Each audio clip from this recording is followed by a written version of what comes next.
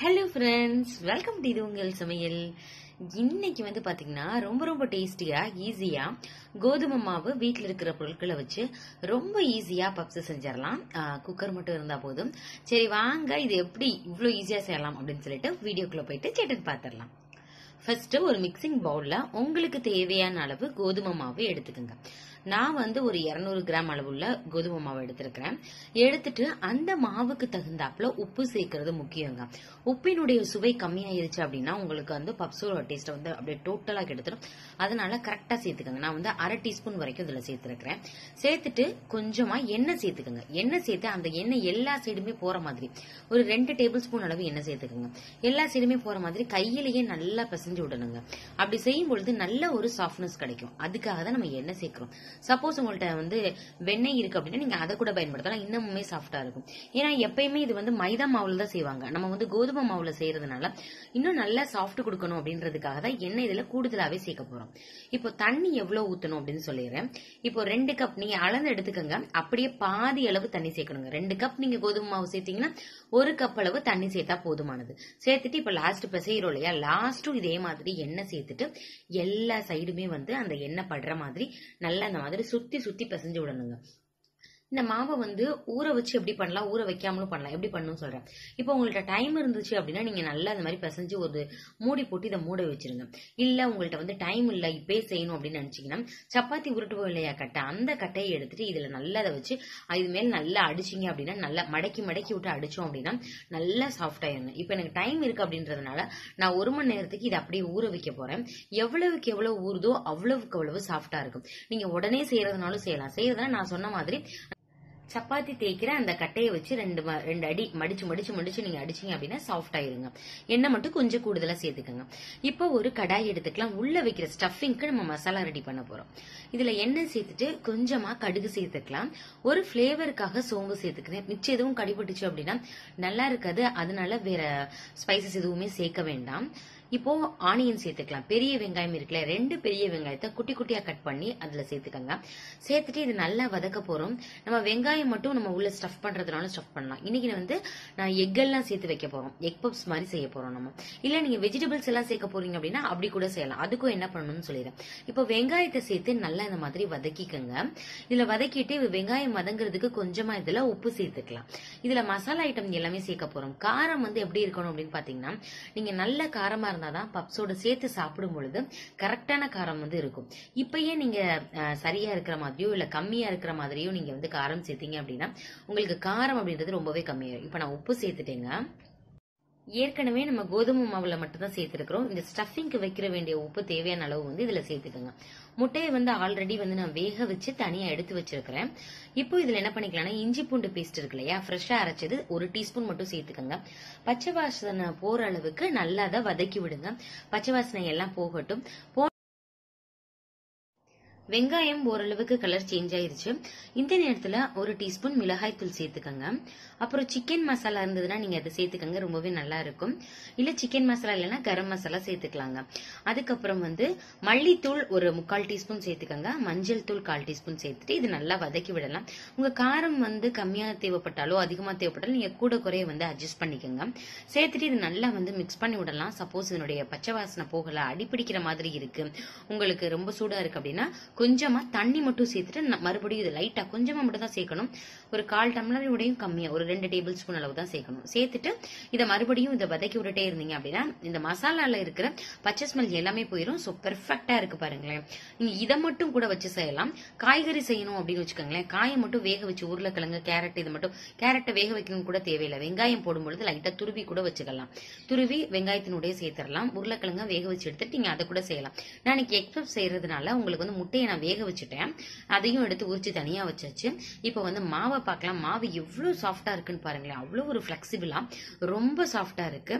நம்ம எண்ணெய் எல்லாம் மேல தடவணும் இல்லையா? அதனால அவ்வளவு சாஃப்ட் கொடுக்குதுங்க. இப்போ இதை நம்ம சப்பாத்தி மாவு தேய்க்கிற மாதிரி நல்லா தேய்க்க போகிறோம் சப்பாத்தியை விட நல்லா இழுக்கு இழுக்க நீளமாக வரும். ஏன்னா நம்மளுக்கு அந்த மைதா மாவில் ஒரு டெக்ஸ்டர் இருக்கும் பார்த்தீங்களா அந்த ரொம்ப அந்த அளவு வராட்டி ஓரளவுக்கு கிடைக்கும். நம்மளுக்கு கை அடியில் வச்சோம் நம்ம கை வந்து டிரான்ஸ்பரண்டா தெரியும்.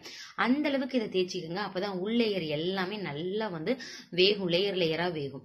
இல்லை அப்படின்னா நல்லா வேகாது. உங்களுக்கு அப்படியே தடிமனாக இருக்கும். சாப்பிட்றதுக்கே இதாக இருக்கும். பாருங்களேன். எந்த அளவு அது நீளமாகுதுன்னு சொல்லிட்டு. நல்லா வந்து தின்னாகுது நல்லா லேஸ் ஆகுதுன்னு சொல்லுவோம் அந்த மாதிரி இருக்கு. இதுதான் கரெக்டான பக்குவம். இப்ப எடுத்து காமிக்கிறேன் பாருங்க. இந்த மாதிரி இருக்கும். நம்மளுக்கு எப்படி பரோட்டாக்கெல்லாம் நம்மளுக்கு எப்படி தேய்ப்போம் நம்ம? அந்த மாதிரி தேய்ச்சிக்கோங்க. இப்போ எல்லாத்தையுமே ஒரே சைஸ்க்கு தேய்க்க முடியும் அப்படின்னா தேய்ச்சிக்கோங்க. இல்ல ஓரளவுக்கு நீங்க கட் பண்ணிக்கிறலாம். இப்ப கை தெரியுது பாத்தீங்களா? இந்த மாதிரி இருக்கணும். இப்போ ஒரு அஞ்சு சப்பாத்தியை இதே மாதிரி தேய்ச்சி எடுத்துக்கலாங்க. நீங்க மைதா மாவுல செய்யணும்னாலும் இதே தான் நீங்க நல்லா எண்ணெய் மட்டும் நிறைய ஊத்திட்டு நீங்க செஞ்சீங்கன்னா இதை விட சூப்பரா வரும் மைதா மாவும். ஆனா என்ன? நம்மளுக்கு அது ஹெல்த்துக்கு நல்லதுல அதனால முடிஞ்ச அளவு நீங்க அதை அவாய்ட் பண்றது நல்லதுங்க. இப்ப இதையுமே தேய்ச்சாச்சு. ரெண்டு சப்பாத்தியுமே தே தேய்ச்சாச்சு. இதே மாதிரி நம்ம நாலு லேயர் வைக்க போறோம். ஐயோ நாலு லேயர் வைக்க போறோமே. உள்ள எப்படிடா வேகும் அப்படின்னு நினைக்காதீங்க. சூப்பரா வந்திருக்கும். நல்லா வெளியே கிறிஸ்பியாவும் உள்ள நல்லா லேயர் லேயராகவும் வந்திருக்குங்க. இப்போ ஓரளவுக்கு நல்லா தேய்ச்சாச்சு. இப்போ ஒன் பை ஒன் இதை போட்டுடலாம். பாருங்களேன் இந்த மாதிரி விரிச்சு வச்சிருக்கிறேன். இது மேல உங்கள்கிட்ட வெண்ணெய் இருந்ததுன்னா நீங்க சேர்த்துக்கோங்க. என்னோட நெய் இருந்ததுனால நான் நெய் சேர்த்துருக்கிறேன். வெண்ணெய் சேர்த்தோம்னா இன்னும் நல்லா இருக்கும். இல்ல வெண்ணெய் இல்ல நெய் இல்லைன்னா ஒண்ணுமே பிரச்சனை இல்லை.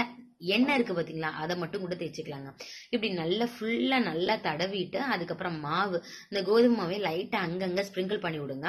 இது வந்து என்ன ஆகும் அப்படின்னா லேயர் லேயரா எடுத்துட்டு வர்றதுக்கு நல்ல ஹெல்ப்ஃபுல்லா இருக்குங்க. இதே மாதிரி ஒவ்வொரு சப்பாத்தி நம்ம தேய்ச்சோம் இல்லையா? ஒவ்வொரு இதையுமே நம்ம வைக்க போறோம். இது ரொம்ப லேசா இருக்கிறதுனால நான் அப்படியே இழுக்க இழுக்க பாருங்களேன் வந்து லைட்டா வந்து அங்கங்க வந்து ஓட்ட விழுகுது பாருங்க. இந்த மாதிரி இருக்கு. ஸோ இந்த அளவுக்கு நீங்க தேய்ச்சாதான் உங்களுக்கு அவ்வளோ ஒரு சாஃப்ட் கிடைக்குங்க. இப்போ எல்லாத்தையுமே தேய்ச்சாச்சு. இது ஃபைனல் லேயர் நாலாவது நாலாவது லேயர் இதுலயுமே லாஸ்ட் என்ன பண்ணிக்கிறோம்? நம்ம வந்து நெய் தடவிட்டு மாவை வந்து லைட்டா ஸ்ப்ரிங்கிள் பண்ணி விட்டுட்டு உங்களுக்கு தேவையான ஷேப்ல வந்து இதை கட் பண்ண போறோம். உங்களுக்கு சில இடத்துல பாத்தீங்கன்னா ஸ்கொயர் சதுரம் சதுரமா இருக்கும். சில இடத்துல செவ்வகமா இருக்கும். சோ உங்களுக்கு எந்த ஷேப்ல வேணுமோ அந்த மாதிரி கட் பண்ணிக்கோங்க. நம்ம முழு முட்டையை வந்து நம்ம வச்சோம் அப்படின்னா அது குக்கர்ல வைக்கும் பொழுது நல்லா வைக்க முடியாது. அதனால நான் எனக்கு என்ன பண்ணிருக்கேன்னா முட்டை எல்லாத்தையுமே அப்படியே பாதி பாதியா கட் பண்ணிட்டேங்க. கட் பண்ணி அதை தனியா வச்சிருக்கிறேன். இப்போ என்ன பண்ணிக்கலாம்னா இதை நம்ம கட் பண்ண போகிறோம் நல்ல ஷார்ப்பான கத்தியில நம்மளுக்கு கோடு போடும்போது ஒட்டவே ஒட்டாது. நம்ம எண்ணெய்லாம் நிறைய சேர்த்துருக்கிறதுனால.